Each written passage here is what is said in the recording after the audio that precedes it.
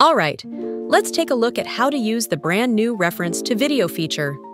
On the left-hand side, open the global sidebar and click on AI Video.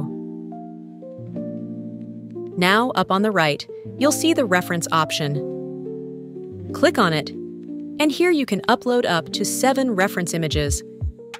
Then, in the text box below, type in your video description, and you're ready to generate. Right under the text box, you'll also see some official examples provided by Dzine.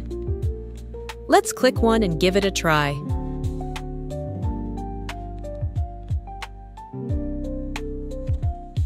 In just a few seconds, you'll get a fun animation of a little boy standing in front of a Christmas tree, opening his gift.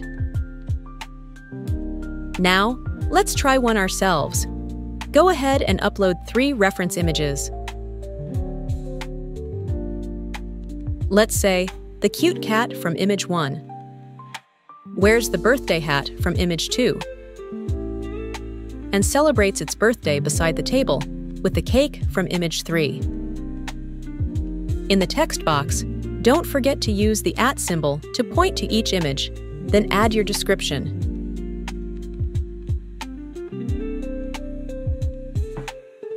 Click Generate. And there you go. Your video is ready.